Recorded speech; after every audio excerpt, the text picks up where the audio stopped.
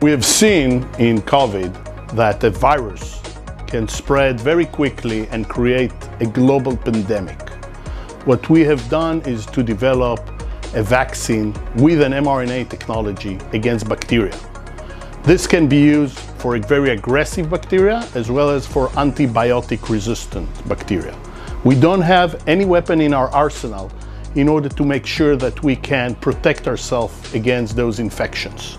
So this is the first evidence that this is doable in a very fast manner as well as in a very effective manner. We got almost 100% protection against this infection.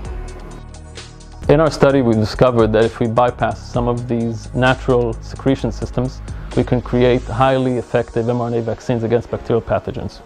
Now we are trying to attempt, and we're working on it, to understand the exact mechanisms and how we can translate the success in this bacterial pathogen to other bacterial pathogens which are urgently needed.